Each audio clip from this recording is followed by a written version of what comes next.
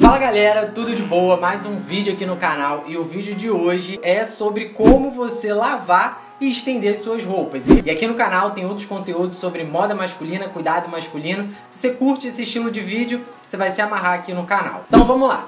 Primeira coisa que a gente faz antes da gente colocar a roupa na máquina para lavar é separar as roupas. E aí a gente separa de algumas maneiras aqui. Primeira coisa é separar as peças brancas das peças pretas das peças coloridas. E por que, que a gente faz essa separação? A gente separa, a gente não bota né, as peças brancas para lavar junto com as pretas ou as coloridas, porque pode ser que uma dessas outras peças soltem algum tipo de tinta e aí manchem as peças brancas. Então por isso que a gente lava as brancas separadas. As peças pretas a gente lava separado das coloridas, porque o ciclo de lavagem da preta, das peças pretas são, é um ciclo diferente. Ciclo, não tem como a sua máquina de lavar, na hora que você vai colocar ali, selecionar, tem sujo pesado, roupas pretas, roupas de banho, lavagem rápida, enfim, cada máquina tem uma nomenclatura, mas geralmente tem ali roupas pretas, porque o ciclo da lavagem é diferente para as, as peças não desbotarem. Mas aí você pode estar me perguntando, beleza, entendi aí o porquê separar. Mas na hora que eu tô separando ali uma peça branca, sei lá, uma camiseta, estilo essa que eu tô aqui, ó, que ela é branca e tem uma estampa colorida. A gente coloca ela na pilha de peças brancas ou na pilha de peças coloridas. Se eu tenho uma camisa xadrez, branco com cinza, branco com azul, branco com uma outra cor. Eu coloco ela na pilha de peças coloridas ou na pilha de peças brancas? Deixa aqui nos comentários em qual pilha você acha que tem que deve colocar, na branca ou na colorida. Eu vou dar essa resposta lá no final do vídeo, mas já deixa sua resposta aqui agora, que eu quero saber quem vai acertar ou não, beleza? Então vamos seguir o vídeo e lá no final eu vou dar essa resposta. Outra separação que a gente faz, galera, também é o seguinte: a gente também separa os panos de prato, roupa de cama e roupa de banho e pano de chão. A gente não lava essas coisas juntas uma com as outras, porque pano de prato por motivos óbvios, né? Você não vai misturar ali as coisas de cozinha e tal, botar para lavar junto com a sua camisa, junto com a sua calça, e aí vai sair gordura de cozinha na sua roupa, enfim, gente. Não é uma mistura legal. Fora dessa mistura, tipo, cara, você não vai botar, sei lá, suas roupas íntimas para lavar com seu pano de prato, coisa que você usa na cozinha. Enfim, toalha, essas coisas assim, toalha de rosto, toalha de mão não lava junto com as outras peças de roupas, porque geralmente elas soltam pelo. E aí depois a sua calça fica toda cheia de pelo. Enfim, não é uma mistura muito legal. Segunda coisa é separar as peças por tipo de tecido. Tem os tecidos mais pesados, tipo jeans, sarja, e tem os tecidos mais leves, tipo seda, camisa de linho. Não é legal colocar isso para lavar junto, porque o atrito ali dos tecidos mais pesados, do seu jeans, da sua sarja, com de repente a sua camisa de linho, pode acontecer de danificar ali, é, soltar fio, enfim. Não é legal fazer essa mistura por conta disso, para você preservar a integridade ali da sua roupa e que ela você lave ela e ela saia perfeita da máquina de lavar. Terceira coisa, algumas peças precisam de uma pré-lavagem antes de você colocar na máquina. Algumas situações são é, colarinho de camisa, às vezes uma camisa branca, você jogar ela para lavar ali na máquina, não é uma lavagem ali, sabe? Então o colarinho pode ser que ele continue, ele saia da sua máquina sujo, sabe? Saia meio encardido, meio amarelado. E aí por isso é interessante fazer uma pré-lavagem. Punho de camisa também é legal. Só que assim, galera, essa pré-lavagem não é para você esgarçar ali o tecido na hora de limpar. Você vai, né, uma pré-lavagem ali com uma escovinha, você pode até esfregar um tecido no outro, mas devagar para você não sair arrebentando ali as fibras do seu tecido. Isso também acontece de repente com uma mancha. Você sujou uma camisa de molho ou a barra de uma calça, você sujou de lama, então você dá uma, faz uma pré-lavagem ali antes de colocar na máquina, porque você vai ter a certeza que quando você tirar da máquina ela vai estar tá limpinha. Uma outra situação também são as peças brancas. Cara, Peça branca, raramente quando você coloca ela sempre para lavar na máquina, sem fazer uma pré-lavagem antes, com o tempo ela fica amarelada, fica encardida e aí ela não fica aquele branco, sabe? Branco de branco mesmo da peça. Então é interessante fazer uma pré-lavagem antes. Eu costumo fazer o seguinte: eu coloco de molho antes de lavar, eu coloco de molho no sabão em pó mesmo. Pego um balde, uma bacia, coloco de molho ali no sabão em pó e deixo um tempo ali. E aí, se teve algum lugar que sujou ou ficou meio amarelado, tipo o, a parte aqui do colarinho, né? Da gola, da camiseta, ou enfim, alguma outra parte dela que esteja um pouco mais suja, eu dou uma lavada ali na mão e depois eu coloco na máquina para lavar junto com as outras peças. O tempo que você deixa essa peça de molho é interessante que você deixe até duas horas, porque o sabão ele só age nesse período de duas horas ali no molho.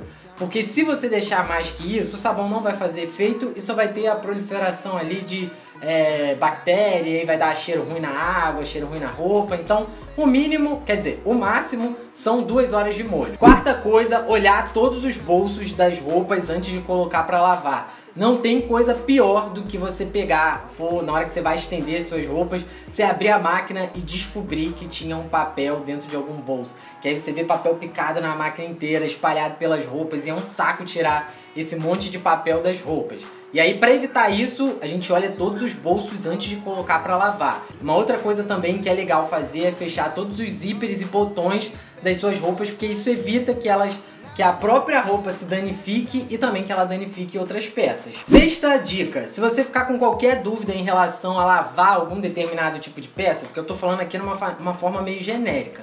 É só você olhar na etiqueta da roupa que tem os símbolos, esses símbolos são universais. Então, independente da onde você tenha comprado a sua roupa, só você jogar na internet, caso você não tenha entendido ali o que, que o símbolo quer dizer, você joga na internet e ali vai ter o que, como você lava aquela roupa. E aí, eu não vou me estender aqui, na verdade eu não vou nem falar sobre isso, que é sobre a questão da temperatura da água na hora de você lavar a roupa. Porque a maioria das nossas máquinas de lavar, pelo menos aqui no Brasil, não tem essa opção de botar água a temperatura ambiente, água fria ou água morna, água quente. Não tem essas opções, então eu não vou perder muito tempo aqui falando. E aí tá aí o grande segredo das lavanderias de vir com a peça limpinha, cheirosa e tal, macia, é o lance da temperatura, porque isso faz uma diferença muito grande na hora de lavar a roupa, mas enfim, né? As nossas máquinas, pelo menos a grande maioria aí, não costuma ter. Agora bora para as dicas para na hora de você estender a sua roupa. Primeira coisa que você tem que fazer antes de colocá-la no varal é você tira ela da máquina e você sacode ela. Esse, você sacudir ela serve para você soltar as fibras da, do tecido e isso vai fazer ventilar mais ali a roupa e ela vai secar mais rápido e também evita ela secar com mau cheiro. Segunda coisa, na hora que você vai colocar as roupas no varal, você dá uma olhada ali no seu varal e aí você pega as peças mais pesadas e você coloca aonde ventila mais. Geralmente quem mora em apartamento, né, o varal tem ali a posição do varal e aí tem onde bate mais vento, se é próximo de uma janela, tem aonde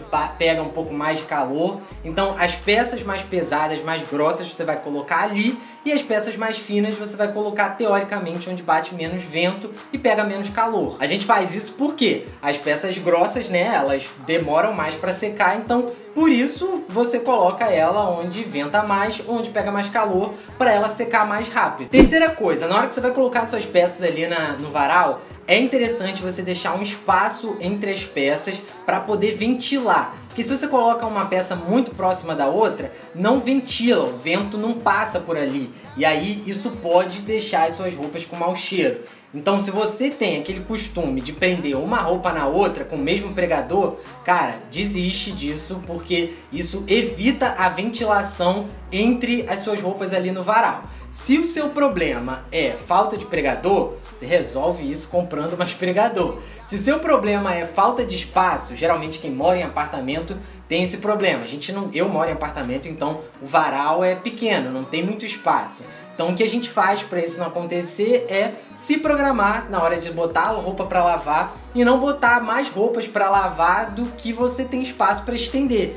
Então você já tem que ter mais ou menos ali uma conta. Tipo aqui em casa, ó, quando eu vou botar é, toalha para lavar, eu sei que se eu botar mais de seis toalhas vai dar ruim, porque no varal cabem seis toalhas com espaço legal entre elas para poder ventilar. Então você vai ver o seu varal, vai ver sua realidade, ver as suas roupas e você tem que fazer essa programação antes de colocar a roupa para lavar. Quarta dica, bora falar sobre onde colocar o pregador ali na roupa. Dependendo de onde você coloque, depois que ela seca, fica aquela marca ali de pregador na tua roupa e às vezes nem passando sai, enfim, é um caos. Às vezes aí sai com a marca de pregador no meio da camiseta assim, é horrível. Então, uma dica para onde você colocar pre o pregador. Calça, calça, bermuda, short, você coloca ali no cós. Você dobra ali no varal e coloca o pregador no cós, porque o cós, é, né, a camisa tampa, enfim, não fica tão à mostra. E também o cós costuma ser um pouco mais grosso e, e raramente marca, dependendo ali do tecido, né, que seja sua calça, sua bermuda ou seu short. Outra coisa é camiseta, enfim, parte de cima, camisa é interessante você colocar do lado avesso e aí você coloca ali bem na beiradinha, perto da costura, você coloca o pregador ali. Porque na costura se marcar vai estar tá aqui do lado, não vai aparecer tanto e também como tá do lado avesso e pegando ali na rebarba da costura, às vezes nem aparece. Vamos lá, agora como você não deformar as suas roupas? É o seguinte, as peças que têm os tecidos mais maleáveis, essas você tem que tomar mais cuidado na hora de estender para você não deformar. Se você não sabe identificar ali quais são as peças maleáveis, que tem teci o tecido, a fibra do tecido maleável, tem um vídeo aqui no canal sobre é, cabides, que eu falo sobre as peças que você deve colocar em cabide ou não. Eu vou deixar esse vídeo aqui na descrição do vídeo, o link dele. E lá você eu expliquei, eu mostrei como é que faz para você identificar essas peças. Mas na grande maioria, as peças de lã e as, as camisetas de malha, estilo essa aqui que eu tô, essas peças deformam. Então, o ideal é que elas sejam estendidas na horizontal. Isso é a expectativa. Mas a realidade a gente sabe que é bem diferente. Ter espaço para poder estender roupa na horizontal, enfim, para mim isso é utopia. Então, uma maneira que dá para fazer isso, que não vai danificar as suas roupas, é o seguinte: as camisetas de malha, você dobrar ela ao meio e você equilibrar o peso ali na hora de colocar no varal para não ficar mais pesado de um lado do que do outro, que isso aí não vai deformar ali o meio da sua camiseta. Nunca colocar ela presa pelas barras, pela, sabe, a barra aqui, a parte de baixo da camiseta, nunca colocar ela presa assim, uma de cada ponta, porque a gravidade ali puxa e aí a sua camiseta fica com aquela ponta ali, não é legal.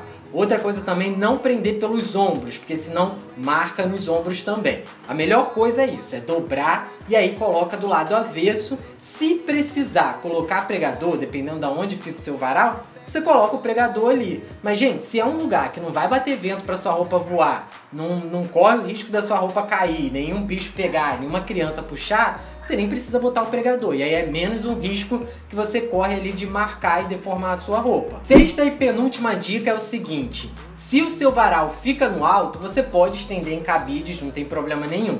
Só que é interessante que sejam cabides de plástico e que sejam cabides arredondados na ponta. Porque se o cabide for pontudo, pode ser que ele marque ali as suas roupas.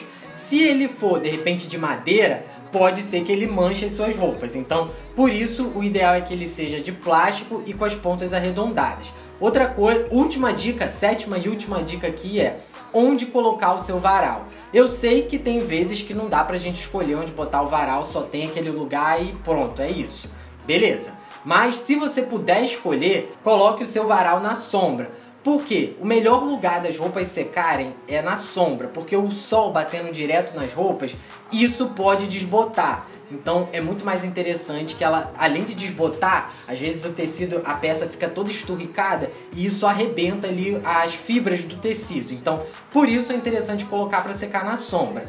Mas se você não tem como fazer essa escolha e o seu varal fica direto no sol, coloca suas roupas para secar sempre do lado avesso porque isso evita desbotar ali o lado que você vai usar e também evita deixar ela muito tempo. Você viu que secou? Você já tira da corda, entendeu? Do varal. Não deixa lá muito tempo para ela não ficar toda dura, esquisita lá, que isso vai com o tempo vai danificar a sua roupa. Eu acho que esse vídeo ficou um pouco grande, mas é porque eu não queria dividir as dicas de colocar para lavar, de estender, eu quis colocar isso tudo num vídeo só. Não esquece de curtir o vídeo, compartilha aí, de repente, aquele seu amigo que começou a morar sozinho, ou sua amiga também que começou a morar sozinha e não tá sabendo como que faz para lavar as roupas, está estragando tudo, manda esse vídeo aí para eles que com certeza você vai dar uma ajuda. Beleza? Então é isso aí, a gente se vê aqui no próximo vídeo ou lá no Instagram. Tchau! Voltei aqui para dar a resposta do início do vídeo que eu tinha esquecido. É o seguinte, as roupas brancas com estampas coloridas,